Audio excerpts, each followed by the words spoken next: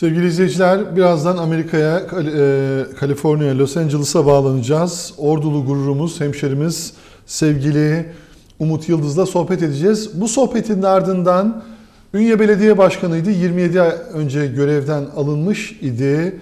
Sevgili Ahmet Çamyar'ın bir basın açıklaması var. O basın açıklamasını size okuyacağım, aktaracağım. Çünkü 27 ay evvel e, görevini kötüye kullanmak ve çeşitli iddialarla ilgili görevden uzaklaştırılmıştı. Yapılan mahkemeler neticesinde herhangi bir suça, herhangi bir e, suç olabilecek unsura rastlanmadığı için kendisinin mahkeme sonrasında aklandığı ile ilgili açıklamaları vereceğiz. Evet sevgili Umut Yıldız, e, merhaba, selamlar, iyi akşamlar mı diyelim? Evet, gece burası. İyi akşam. Günaydın size. sevgili Umut çok teşekkür ediyorum önce. Hani bizi her seferinde kırmayıp biliyorum e, o yoğun temponun içerisinde e, bize biraz kıyak geçiyorsun, torpil yapıyorsun. Onu da farkındayız. Ama sen ordulusun ve seni e, seni ekranda görmek isteyen o kadar çok e, arkadaşımla ve seni tanıyan, tanımayan herkes ya ne olur Mars'a e, bir araç indi ve o projede sevgili Umut Yıldız da var. Lütfen e, Umut'u görmek istiyoruz dediler. Evet ulusal kanallara çıkabilirsin ama doğduğun yer e, burası senin şehrin. Ee, önce sana biraz orduyu gösterelim. Ee, sen sık sık görüyorsun ama bizi görüntülen hep al Aykut. İşte Umut'a bir kıyak, ordu manzarası. Teşekkür ederim. Rica ederim. Ee, Umut, e, hakikaten seninle gurur duyuyoruz. Umut demek istiyorum sana çünkü... Tabii ki, tabii ki. Evet, e, önce bir birkaç özel resim var. E, bundan iki gün evvel ben sevgili Umut Yıldız'ı aradım. Dedim ki e, Mars'a araç iniyor ve o projede senin de olduğunu biliyoruz. Ee, ya sevgili Akın dedi, kızımın doğum günü var. Ee, o yüzden dedi biz dedi e, doğum gününü kutlayacağız. Biz de sana bir sürpriz yaptık. Şöyle bir sürpriz yaptık. Ee, kızınla senin o güzel resmini ekrana verip hep Umut konuşuyor. Hep Mars'ı, uzayı, astrofiziği konuşuyoruz ama biraz da senden birkaç resim gösterelim programa başlamadan önce. Teşekkürler. evet, minik kızının ismi ne sevgili Umut? Duru. Evet, e, Duru'cum güzel yaşların olsun. Ee, sevgili eşinle birlikte, ailenle birlikte e, orada gurur kaynağımız olmaya devam ediyorsun. Estağfurullah, sağ olun. Ee, birkaç böyle resim paylaşmak istiyorum müsaade edersen. Umut Yıldız, e, ordulu bir anne babanın evladı. Umut tekrar e, biz seni çok iyi tanıyoruz ama burada kızın herhalde e, daha çok küçük. Tabii tabii orası en az 1-2 yaşında falan olduğu zamanlar herhalde. Evet. Umarım kızmadın bize böyle bir özel bir magazin yani. Yok sağ olun. Evet Umut bir kere Sürpriz daha oldu. orduları şimdi seni e, birçok insan tanıyor ama tanımayanları bir kere daha Umut'un şu ordululuğunu bir e, pekiştirmesini rica ediyoruz. E, Umut Yıldız orduda hangi yıllarda bulundu diye soranlar var. E, tekrar bir Umut Yıldız'ı anlatır mısın? Aslında orduda hiç yaşama fırsatım olmadı. Babam e, emniyet görevlisiydi. Ondan dolayı biz işte İstanbul'da doğdum. Sağda solda biliyorsunuz e, memur dediğin memur çocuğu e, dolaşır. Birkaç senede bir başka şehirlerde dolaşır. Ben üniversiteyi kazandıktan sonra işte Ankara Üniversitesi'ni kazanmıştım. Kazandıktan sonra ailem, em, em, babam emekli olup ondan sonra orduya taşındı. Ondan sonra işte git geller yaparak sürekli yani her e, fırsatta orduya gidip geliyorum. Benim e, genelde o şekilde gidip gel- geliyorum diyebilirim. Şu an ailen anne baba nerede Umut? Tabii ki orada da onlar. Evet. Onlar e, onlara da buradan izliyorlar mı şu anda? İzliyorlar tabii ki mutlaka. evet onların da buradan ellerini öpüyoruz. Ee, artık Umut bizim evladımız oldu, bizim kardeşimiz oldu. Tüm ülkenin gurur duyduğu bir isimsiniz. Şu anda bütün dünya Mars'a inen araçtan bahsediyor sevgili Umut. Biraz projeyi, senin projeyle ilgili değerlendirmelerini merak ediyoruz. Aykut da güzel görüntüler seçti. Ee, sendeyiz sevgili Umut. O zaman şöyle söyleyelim. Proje ya benim katkım e, şöyle küçücük e, bir şeydir. Çünkü en az abartmıyorum en az 10 bin kişi çalışmıştır bu projede. Son 8 yıl 8 yıl boyunca bu projeye çalışıldı. 2012'de civarlarında başlamıştı ve işte biliyorsunuz e, geçen sene 30 Temmuz'da dünyadan uzaya fırlatıldı ve 6,5 aylık yolculuğun ardından Mars'a ulaştı. Dediğim gibi çok kişi var bu işin içerisinde. E, bu araç ne yapacak diye merak ediyorsanız bu evet. aracın en büyük e, bulacağı cevap mı diyelim işte cevaplamaya çalışacağı soru Mars'ta yaşam olup olmadığı. Şimdi Biz daha önceki araçlarda belki e, fark etmişsinizdir böyle sürekli Mars'la alakalı haberler e, duyduğunuzda işte Mars'ta su bulundu. Mars'ta işte göl e, toprağın altında göl bulundu ya da Mars'ın kutuplarında işte buz bulundu vesaire bunun gibi birçok haber duyuyorsunuz. Şimdi bu haberlerin e, bu haberler neye işaret ediyor? Bir yerde suyu gördüğünüz anda ha diyorsunuz belki bu yaşama işaret edebilir. Sonuçta biz dünyaya baktığımızda bizim kendi kendi vücudumuza bakıyorsunuz %70 su var. İşte herhangi bir başka canlıya bakıyorsunuz içerisinde su var. Yani her canlının içerisinde su var. Diyorsunuz ki demek ki canlılarda su var. O halde su gördüğümüz yerde özellikle sıvı su gördüğümüz yerde belki canlı olma ihtimali var diyoruz. Yani e, bu, bunu biraz şeyle düşünebilirsiniz. Yani ilk başka başka karşılaştıracağımız herhangi bir e, şey e, karşılaştırma fırsatımız olmadığı için yani bir, bir, bir tane canlı dünyada var başka bir yerde yok değil mi sonuçta ilk evet. defa e, yani sadece buradakini biliyoruz. Onun için biz e, Mars'ta bulduğumuz bu suyun belki canlıya işaret edebileceğini düşünüyoruz. Ve o nedenle bu Perseverance dediğimiz işte ya da Türkçesi Azim e, dediğimiz araç e, fırlatıldı ve şu anda Mars'a ulaştı. Eğer her şey yolunda giderse indiği yer çok güzel bir yer, çok ilginç bir yer. Eğer fotoğraflara e, belki e, az sonra gösterilebilir fotoğraflardan. E, indiği yer bir krater gölü. Evet. Tabii şu anda Mars'ta göl falan yok. Mars'ın yüzeyinde artık su kalmamış. E, su tamamen buharlaşmış gitmiş durumda. Ama şunu biliyoruz. Bir tane krater gölü çok güzel, çok büyük bir göl. Ve ona iki tane nehir bağlanıyor. Tabii e, bunlar gerçekten şu anda dediğim gibi herhangi bir şey ne gölde su var ne de nehirlerde su var. Biz şunu biliyoruz 3,5 milyar yıl önce burada su olduğunu biliyoruz. Buraların nehirler olduğunu, gerçek nehirler olduğunu ve bu gölün içerisinde su olduğunu biliyoruz. Çünkü nehirin hareketlerini görebiliyoruz. Nehirin hani biliyorsunuz nehirler böyle sonuçta bir evet. hareket eder ve ortada bir yerde birleşir. Aynı uzay fotoğraflarından baktığınızda bunu görebiliyorsunuz. Ve işin daha güzel tarafı da biz e, o nehrin gölle birleştiği bir tane delta var. Hani Türk e, sanırım Türkiye'de de var işte örneğin Nil deltası vardır. İşte Nil nehrinin işte Akdeniz'de birleştiği yer Nil deltası. İşte o deltaların olduğu yerler çok verimli topraklardır. Oralarda gerçekten çok ciddi yaşam artık e, vardır. Hani e, yani örneğin Nil nehrinin işte Mısır'dan gezerken geçerken kupkuru topraklar ama tam bu birleştiği İskenderiye limanı çok büyük verimli topraklar değil mi? İşte onun evet. gibi bir şey. Burada da aynı şeyi görüyoruz. O nehrin 3,5 milyar yıl önce orada bir nehir vardı. O nehrin o göle birleştiği o delta delta'ya iniş yaptı bu araç. Evet. Ve şu anda eğer her şey yolunda giderse araç aracın bütün işte bilim enstrümanları çalışırsa e, o deltada daha önceden oluşmuş bir yaşama e, rastlama şansımız olabileceğini düşünüyoruz. Yani e, olur mu olmaz mı bilmiyoruz. Yaşam oluştu mu oluşmadı mı bilmiyoruz. Ama eğer bir şey vardıysa eskiden 3,5 milyar yıl önce orada en azından mikroskopik de olsa küçük bir canlı da olsa bir şey vardıysa biz onu e, şu anki araçta bulma şansımız var. Onun için çok heyecanlı bir araç. Yani çok bize heyecan verici bir araç e, en büyük soru işte evrende yalnız mıyız değil miyiz sorusunun cevabını cevaplandıracak bir soru. E, bu soruyu hatırlarsan ilk yaptığımız programda sormuştum. Evrende yalnız evet. mıyız değil miyiz diye. E, senden biraz karamsar bir cevap almıştım. Yani uzaylılar var mı diye gelen sorular vardı. Bir izleyicimiz de yazmış. E, başka galaksilerde yaşamlar, galaksiler demeyelim de başka gezegenlerde yaşam var mı diye sormuş sana ama bilmiyorum Nasıl bir cevap İşte tam olur? da ha, bu sorunun cevabı. bu. İşte bu soruyu bu soruyu sorduk. Baş örneğin Mars'ta. Ya yani bize en yakın gezegende bile yaşam olabilme ihtimali var. Belki Venüs'te bile var. Belki işte Satürn'ün uyduları, Jüpiter'in uydularında da olabilir. Ama henüz şu anda bilmiyoruz. İşte soru bu. Yani başka bir yerde biz akıllı canlı aramıyoruz tabii. Şu anda böyle bir işte ne bileyim hayvan ya da balık tarzı bir şey de aramıyoruz. Mikroskobik işte bakteri türü, işte virüs türü küçücük canlılar arıyoruz. Yani çok küçük işte mikroskobik, mikrop tarzında canlılar arıyoruz. İşte eğer onları bulursak, bulduğumuzda şu soruyu soracağız. Bunlar gerçekten dünya ile hiç alakası olmayan bir e, yöntemle, bir sebeple orada yaşam oluşabiliyor mu?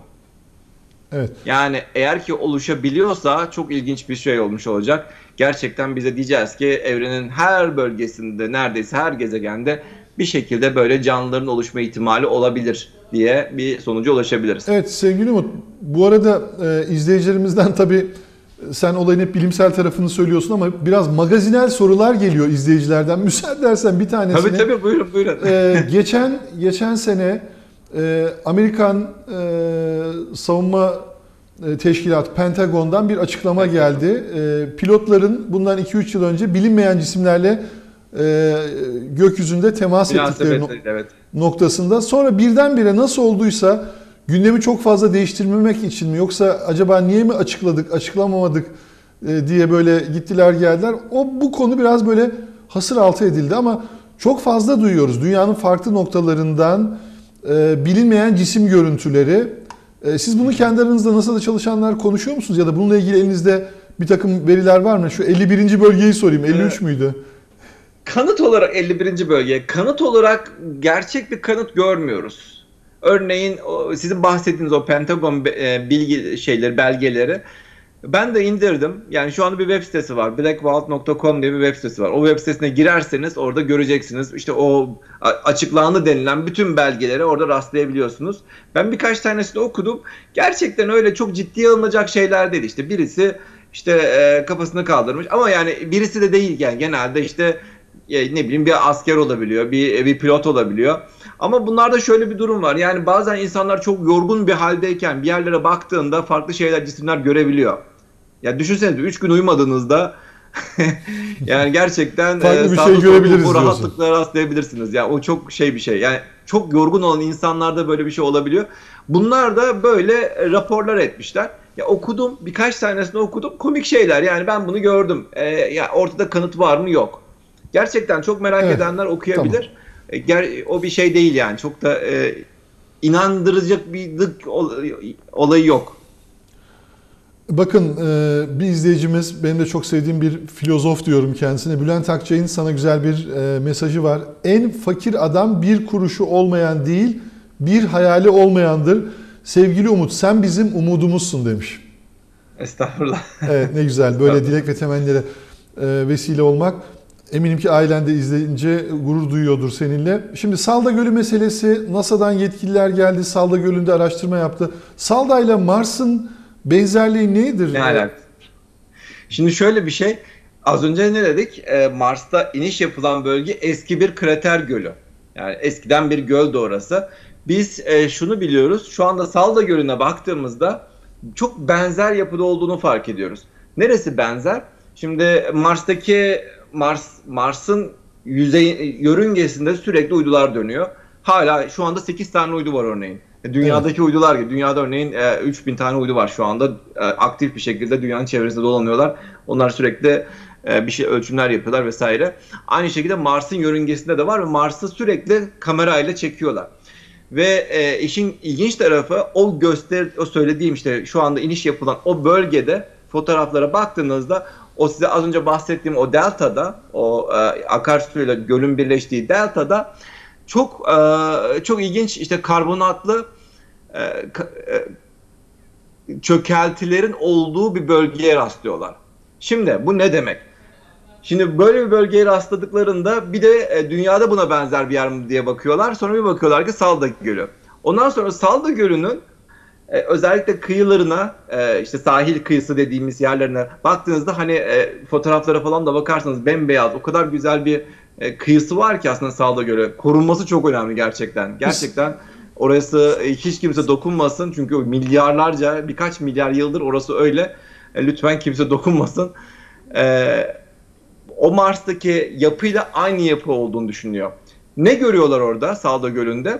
Şimdi şöyle bir olay var. O karbonatlı o çökeltiler öyle ilginç bir yapıda ki daha önceden eğer ki oralarda bir yaşam varsa işte ya da daha önceden ya da şu anda işte bir yaşam varsa o karbonatlar çöküyor. Çöktüklerinde içine hapsediyor o canlılara.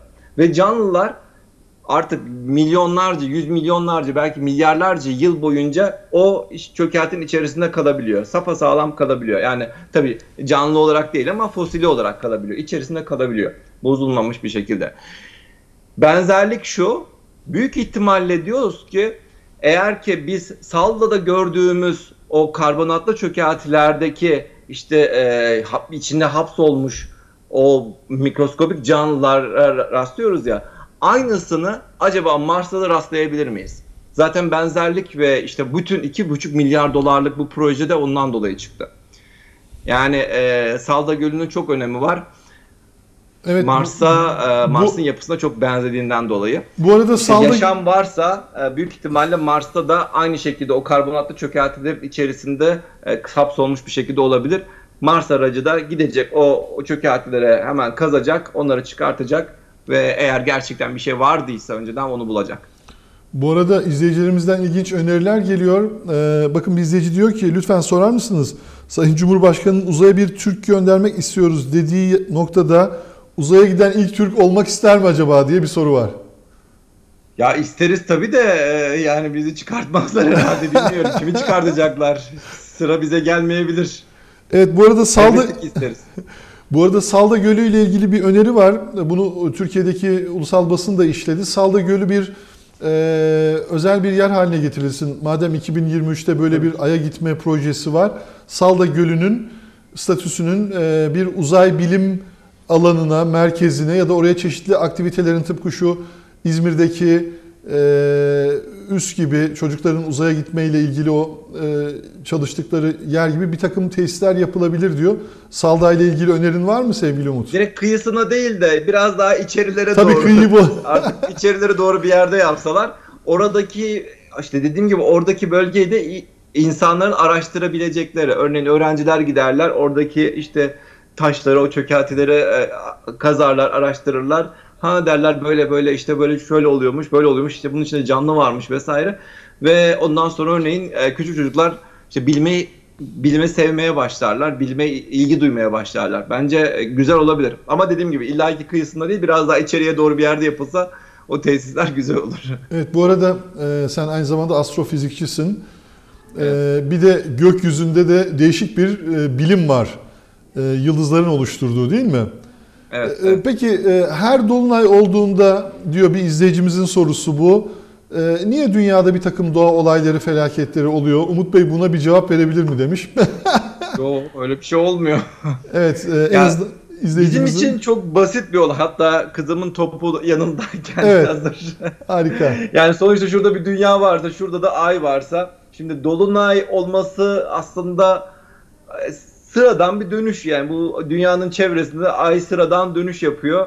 Güneş de uzakta bir yerde. Yani bu dönüşün çok ya o sadece bizim bakış doğrultumuzda bir e, ekstra bir şey. Yoksa ay her zaman yine aynı aynı uzaklıkta e, dön, dönmesine devam ediyor. Onun için bizim için çok farklı bir olay değil. Sadece görüntüde farklı. Bu arada sevgili haber müdüremiz Fatma Meltem Naz Mars'ta yaşam var mı Mars'ta diye uzaktan bir soruyla sohbete katıldı. Mars'ta işte e, varsa bulma ihtimalimiz var. O evet. cümleleri doğru kullanmaya çalışıyorum. Yanlış e, şey yapılmasın. Mars'ta yaşam var demiyoruz.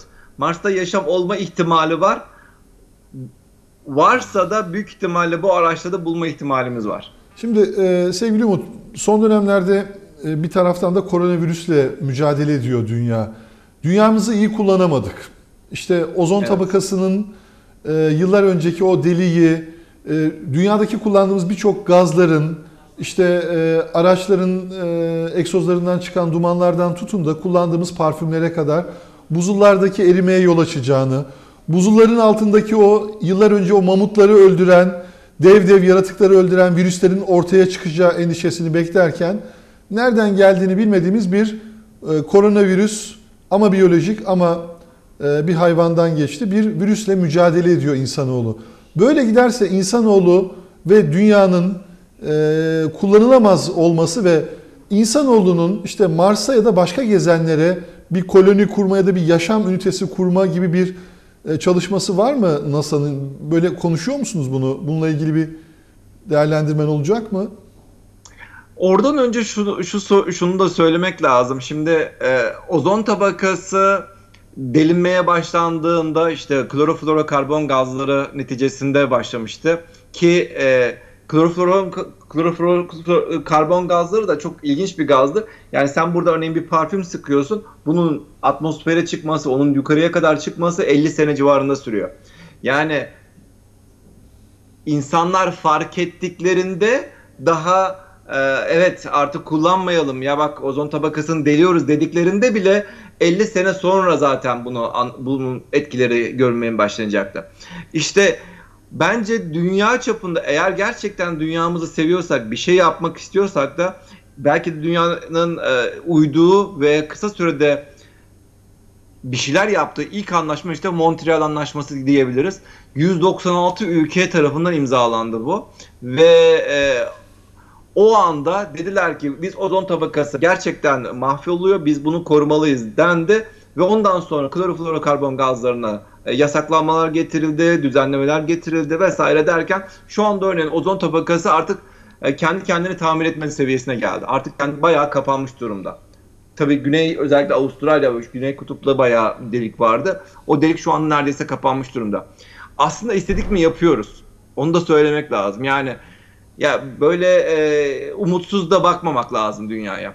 Evet dünyayı kirletiyoruz ama birileri gerçekten temiz tutmak istiyorsa, bir şeyler yapmak istiyorsa bunu da başarı biliyoruz. Örneğin şu anda küresel ısınmadan derdindeyiz. İşte gördü, fark ediyorsunuz biz yani siz, siz benden büyüksünüz elbette ki de bizim zamanımızda işte ne vardı? Dört tane mevsim var işte. Sonbahar, kış, ilkbahar, ilkbahar yaz. Hepsinin de ayları belliydi. Yaz vaktinde gerçekten yaz olur, kış vaktinde gerçekten kış olurdu. E şu anda bir bakıyorsunuz Mayıs ayında işte ne bileyim New York'ta kar yağıyor. Aynen. Yani çok ilginç e, mevsimler değişmeye başladı. Şu anda e, işte şu anda daha yeni yeni örneğin kar yağmış sanırım. Orada da kar yağmış değil mi? Evet Birkaç, yeni yağdı. E, Ondan önce 23 derece sıcaklık vardı. Ha yani o kadar ilginç ki eskiden kar ne zaman yağardı? Tam işte Kasım Aralık. Hani şey vardı yılbaşı gecesi hep kar yağar böyle karlı fotoğraflar vardır. İşte her zaman o zaman beklerdik ama şu anda o kadar değişti ki. İşte biz şu anda dünyanın atmosferini o kadar kirletiyoruz ve o kadar e, o kadar kötü bir şekilde davranıyoruz ki bu mevsimlerin değişmesine yol açıyoruz. İşte küresel ısınmaya yol açıyoruz.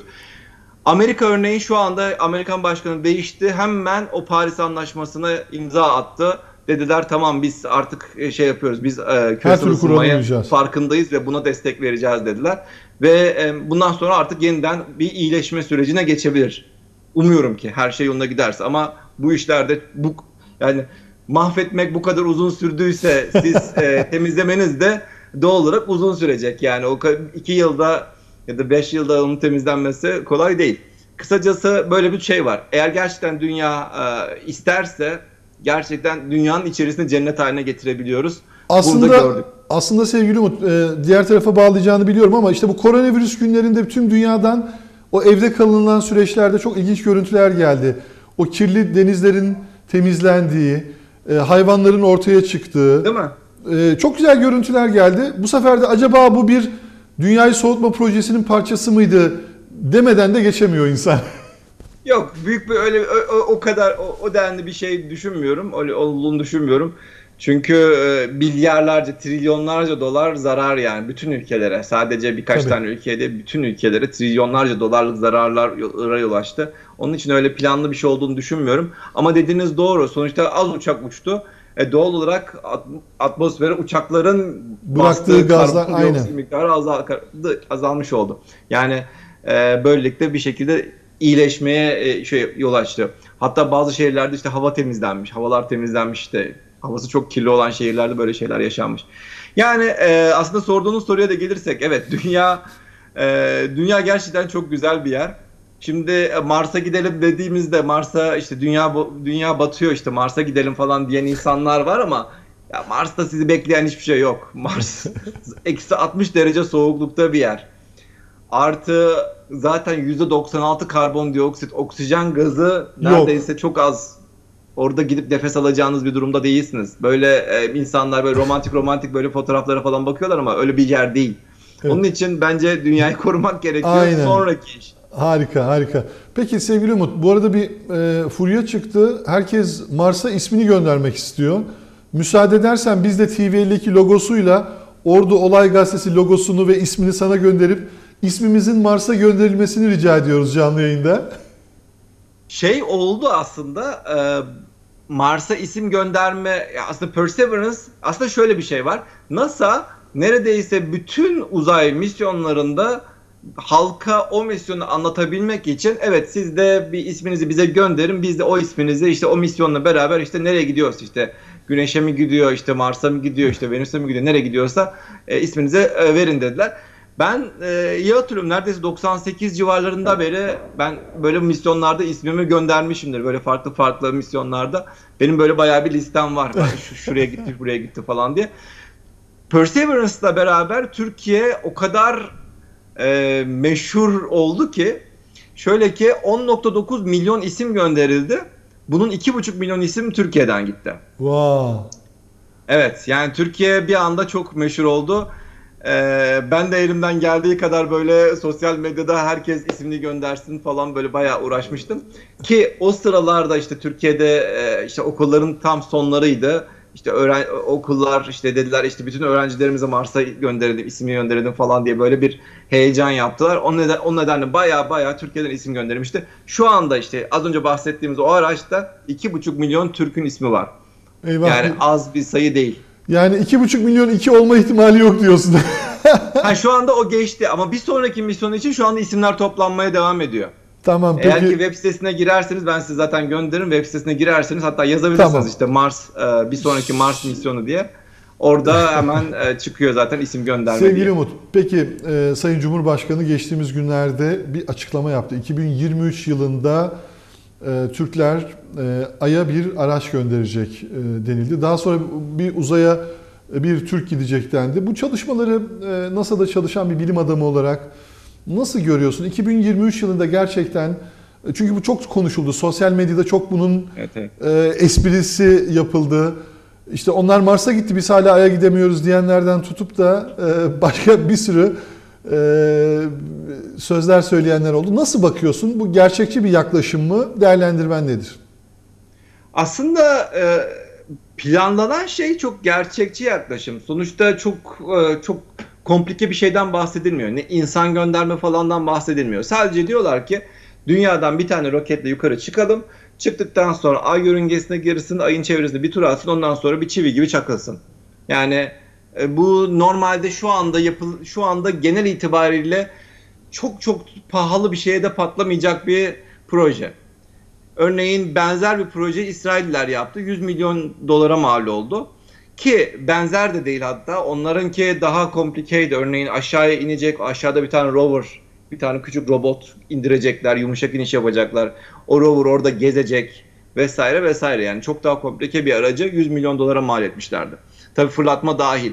Örneğin Türkiye öyle bir şey yapmaya kalktığında belki çok daha ucuz da mal edebilir. Yani e, bu tür şeylerde istese e, para çıkar ama e, çıkacak mı şey yapacak mı onu bilmiyorum. İşte bütçe henüz ortada yok. Tarihi Ama- konusunda 3 yıl içerisinde, 2 yıl içerisinde Evet, olabilir mi? 2023'te deniyor. Evet, Evet. 2023'te deniyor. Yani büyük ihtimal eğer gerçekten dediğim gibi irade olursa ve bütçe olursa 2023'e yetişme ihtimali çok zor. Belki 2024-2025'e yetişme ihtimali yüksek. Çünkü uluslararası işbirliğini de kullanacağız diyorlar. Yani başka ülkelerden de destek, Destek, alınacakmış. Yani böyle böyle bir durumda olabilir. Evet. Yani olma ihtimali çok yüksek. Peki sevgili Umut, e, yavaş yavaş da süremizin sonuna geliyoruz. Orada şu anda saat kaç? Senin de çok fazla böyle, yani bize kalsa bir saat konuşalım Umut. Konuşalım evet. E, Burada gece 11.30 oldu şu anda. evdekiler uyumuyordur inşallah. Uy- uyudular mı? Yok. Tamam. Onlara da selamlar, sevgiler, saygılar. Memlekete ne zaman geliyorsun? Bunu soranlar var. Ordu'ya geldiğinde bir konferans verecek mi diye soran genç kardeşlerim var. Tabii tabii. Türkiye'ye geldiğimde, orduya geldiğimde genelde hep konferans veriyorum. Mutlaka e, geldiğimde veririm. Şu pandeminin bitmesini bekliyoruz. Herkes gibi bittiğinde mutlaka geleceğiz. Peki birinciliğimizi Zaten, pandemi bitmeden gelsek konferans veremeyiz. bu arada başarımızı duydun sanırım. Birinciyiz artık. Ya evet. e, neden oldu öyle bir şey? Ee, olmaması gerekiyor ya. Lütfen gerçekten dikkat edilmesi gerekiyor. Amerika e, Amerika'da da aslında çok ciddi e, ciddi derecede yayıldı ama gerçekten maskeye çok dikkat ediliyor artık. Yani belli insanlar var. Onlar dikkat etmiyor. Onlar özellikle dikkat etmiyorlar. İşte e, örneğin farklı bir e, işte işte Trump'ın e, özellikle takipçileri Fanları. diyelim işte isim vermeyeyim demeye gerek yok artık. Trump'ın takipçileri ya biz e, virüse inanmıyoruz gerçek değil işte bunlar işte Çin'in oyunu falan diyen insanlar oluyor. Onlar örneğin takmayabiliyorlar. Ama evet. Amerika'da çok ciddi bir şekilde maske takmak işte e, birbirlerinden sosyal mesafe falan çok ciddi uyuyorlar ve e, sayılar da çok her geçen gün daha da düşüyor. Özellikle bizim e, yakınlarımızda. Valla nasıl bulaştırdık sorusuna müsaade edersen kısa birkaç cümleyle cevap vereyim. Sosyal medyada Ordu'dan ya da Karadeniz'den arkadaşlarım varsa onların sosyal medyasında sık sık düğün, cenaze, doğum günleri evet. yani bir de sosyal medyaya atıyorlar vakalarda bu kadar birinci sıradayken. O yüzden anne ve babana buradan saygılarımı iletiyorum. Lütfen bir müddet kendi anneme babama da söylüyorum. Eve kimseyi almayın, davet etmeyin. Evet e, belirli kurallara da maalesef dikkat etmiyoruz. Hani bize her yer korona oldu şu anda. Ya değmez. Sadece şurada birkaç ay daha belki idare edeceğiz. Yani aşılar artık çıktı. Es hadi yani bundan yarım sene önce aşı aşı muhabbeti yoktu bile. Ne zaman çıkacağı belli değildi. Evet. Şu anda aşı var. Sadece biraz daha dişimizi sıksak aşımızı da oluruz yakın bir zamanda. Herhalde bu sene sonuna kadar herkes olur gibi geliyor bana.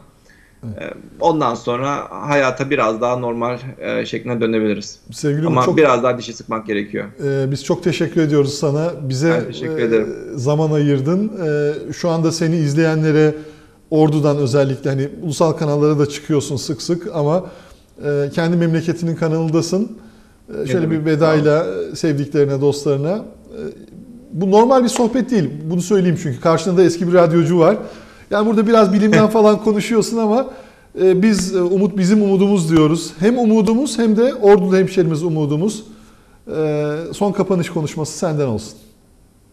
Kapanış konuşması genelde yapamam. Sadece eğer eğer ilgisi olan e, böyle uzaya ilgisi olan genç genç arkadaşlar varsa Ordu'dan yani benim bana mutlaka yazsınlar. Ben elimden Sosyal medyadan nasıl ulaşacaklar sana? İşte yani sosyal medya, Twitter, Instagram'dan yazdıklarında Umut Yıldız yazdıklarında çıkıyor zaten. Evet. Evet, evet. İsmim Umut... yazdığında çıkıyor zaten. Ben elimden geldiği kadar yardımcı olmaya çalışırım, cevap vermeye çalışıyorum. Bu aralar bayağı bir mesaj arttı ama yani elimden geldiği kadar yapmaya çalışacağım. Ee, Covid'e dikkat edin lütfen. Evet. Gerçekten şurada azıcık zaman kaldı. Şu senenin sonunu bir bitirdiğimiz anda ondan sonrası herhalde her, hayat normale döneceğini düşünüyorum. Umut çok teşekkür ediyoruz. Çok teşekkür Kendine iyi bak. Eşine ve evladına ben da saygılar, selamlar. Görüşürüz. Görüşmek üzere. Bay bay. Evet sevgili Umut Yıldız dedik ya hani bizden biriydi. Ee, bitirdik mi programı? Hayırdır Aykut? Şimdi e, bir basın açıklaması var. Haber merkezindeki arkadaşlarımız bu akşama e, hazırlıyorlar. E, bu arada Samet sorunu şimdi gördüm. NASA'da çalışan Türk sayısı nedir ve NASA işe alım süreçlerinde hangi koşulları öne sürüyor? Abi sorabilir misin demiş. Ee, bu soruyu sevgili Umut şu anda hatta mı hala? Hatta mı? Ee, Umut bir e, bir kardeşimizin bir sorusu vardı. Müsaade edersen bu soruya da cevap vererek sana veda edelim mi? Ne dersin? Tamam hemen onu da şey NASA'da yapalım. çalışan NASA'da Türk e, toplam kaç kişi çalıştığını yani bir sayı var ama 20 bin civarında insan çalışıyor. Onun için diyorum yani bu işler çok büyük takım işleridir. Kimse böyle kendini şey görmemesi gerekiyor. Öyle işte şu par şu Mars aracını ben yaptım falan diye Mars aracının şurasını ben yaptım falan diyen insanlar çıkarsa genelde inanmayın. Ee, bir sürü kişi vardır. O, o da o, o projeye katkıda bulunmuştur. Biz de aynı şekilde e, katkıda bulunuyoruz. NASA'da çalışan kaç Türk var diye bir soru var. Türk'ün sayısını bilmiyorum. Yani böyle bir sayı diye bir şey yok. Sen sadece yani böyle bir arama arama motorunda işte Türkler diye bir şey bulamazsınız. Sonuçta ya Amerikan vatandaşı olmuştur ya da işte böyle bir sonuçta böyle bir böyle bir veri yok. Biz sadece isimlerden denk geldiğimizde aa diyoruz e, Türkmüş belki yazıyoruz. Şu anda benim çalıştığım yerde tahminen bir ne bileyim 7 7 6-7 kişi falan olmuş olması lazım. Genel olarak da bir 15 kişi falan vardır diye düşünüyorum ama e, bildiğim bir sayı değil. Gerçekten e, bildiğim bir sayı değil. Yani 20 binde 15 e, diyelim o zaman. Peki Ordulu? Civarı evet. Ordulu? Ordulu başka bilmiyorum yani. Evet. Ve e, izleyici diyor ki e, lütfen diyor ben de düşünüyorum NASA'da işe alım süreçlerinin hangi koşullar öne sürülüyor? NASA'da işe alınma, şimdi NASA'da nasıl iş yapacağınıza bağlı. Dediğim gibi 20 bin insan çalışıyor. en az belki daha fazla 20 bin tane giriş metodu var. Her biri ayrı ayrı giriyor. Farklı metottan giriyor. Örneğin bir Türk vatandaşı ya da yabancı bir vatandaşın içeri girmesi genelde işte lisansını bitiriyorsun sonra master sonra doktorayı bitiriyorsun. Doktora da gerçekten NASA'nın ihtiyacı olan ya da NASA'ya ilginç gelen bir proje yaptıysan sonrasında NASA'da bir proje yapma imkanı olabiliyor. Benim bu şekilde olmuştu. Doktoradan sonra gel olmuştu. O nedenle özellikle minimum bir doktora gerekiyor diye söyleyebilirim. Yani öyle lisansım bitti ben işte iyiyim işte e, Mars'a Mars'a gidecek robotu ben yaparım tasarlayabilirim falan demek e, çok e, olası olmuyor. Genelde bir kendini kanıtlaman ancak ve ancak işte böyle doktora civarında falan e, oluyor yetişebiliyorsunuz. Evet Umut bir de bir sosyal medyadan bu resmi atmışlar. Ee, nedir bu diyorlar. Soranlar var. Aslında bu çok güzel bir fotoğraf aslında. Bu fotoğraf e, ben e, Texas'ta çekmiştim. Texas'ta bir yarışma var. Türkiye'den özellikle çok fazla öğrenci o yarışmaya gidiyor. E, CanSat diye bir yarışma. Hatta girebilirsiniz. cansatcompetition.org diye bir web sitesi var. Oraya girebilirsiniz. Hatta işin ilginç tarafı o kadar çok Türkiye Türkiye öğrenciler tarafından böyle benimsendi ki bu yarışma. Senede 40 civarı takım katılıyor. Yaklaşık 10 tanesi Türkiye'den. Ve ben de işte birkaç sene önce o yarışmadaki yarışmaya öylesine bir gezmek için gitmiştim. Ve oradaki o Türk arkadaşlara rastlamıştım. Onların onların roketleriydi o. Roketlerle beraber işte parça bir şeyler gönderiyorlar işte yukarıya doğru. Uzaya değil elbette ki. Sadece belli bir kilometreye kadar yükseliyor. Ondan sonra aşağı iniyor. Belli görevler var. O görevleri yapıyorlardı.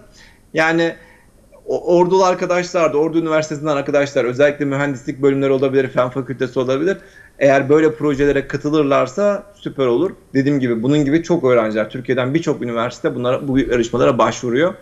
İyi, iyi ki gösterdiniz. Umarım Ordu Üniversitesi'ndeki öğrenciler de e, bir şekilde bu tür yarışmalara katılırlar. Evet, e, Akın Bey, e, valla Cumhurbaşkanı'nın uzaya bir Türk gönderme projesinde e, bu soruyu sormuştu bir izleyicimiz. Yine bir başka izleyicimiz sormuş. Uzaya giden Türk olmak ister misiniz? Vallahi isterim ama bilmiyorum. Sıra bana gelmez gibi geliyor. Takdir edersiniz ki. Evet valla e, veda edemedik sana Umut. Durum bu görüyorsun. Hani bir izleyici şu anda soru yağmuruna tutuyor. Ee, ne demek ne demek. Ama sen bizi kırmıyorsun her seferinde. Ne zaman e, söylesek Tabii hiçbir ki. ricamızı e, geri çevirmediğin için sana bir kere daha alçak gönüllülüğüne teşekkür ediyorum sevgili Umut. Ne demek ne demek. Sağ olun. Teşekkür ederim. Tekrar hoşça kal diyelim. Evet sevgili izleyiciler, Ünye'den polis memuru Ali Parlak andımızı okuduğunuz için çok teşekkür ediyoruz. Bizler Atatürk'ün gençliğe hitabesinin de son paragrafını okursanız çok memnun oluruz demiş. Tamam okuruz. Evet şimdi bir basın açıklamasıyla haber merkezindeki arkadaşlarımız bu haberi bu akşam detaylı bir şekilde yapacaklar. Evet basın açıklamasını yapan Ahmet Çamyer, Ünye Belediyesi eski başkanı. Değerli hemşerilerim, bundan tam 7 ay evvel size son kez seslenirken amelinden şüphesi olmayan bir Müslüman ölüme giderken nasıl bir iç huzur içerisinde ölüme gülümserse ben de bugün bu sonuca böyle tebessüm ediyorum diyerek Ünye Belediye Başkanlığı görevimden haksız ve hukuka aykırı bir şekilde güya soruşturmanın selameti açısından uzaklaştırılmıştım. Görevden uzaklaştırılmam esnasında bütün maddelerle ilgili hukuki sürecimizin Danıştay 1. Dairesi'nin kararıyla sonuçlandırılmış olup hukuksuz sürece yargı kararıyla dur denilmiş. Bakanlığın soruşturma izni iptal edilerek sürece son nokta koyulmuştur. Aynı şekilde Ünye Asliye Mahkemesi'nde devam eden gazete alımı, dergi alımı, şal alımı, belediye çalışanlarına alınan eldiven, atkı, gömlekle çocuklarımızı emanet ettiğimiz öğretmenlerimize yaptığımız toplantının yemek bedeli gibi Türkiye'nin tüm belediyelerinin hukuka uygun olarak yaptığı ama bana gelince komedi bir şekilde, komedi gibi bir şekilde neden aldın, neden yaptın sorusuna yöneltilen davalar 22.02.2021 tarihinde yani iki gün önce sonuca ulaşmış olup da fare doğuşmuştu.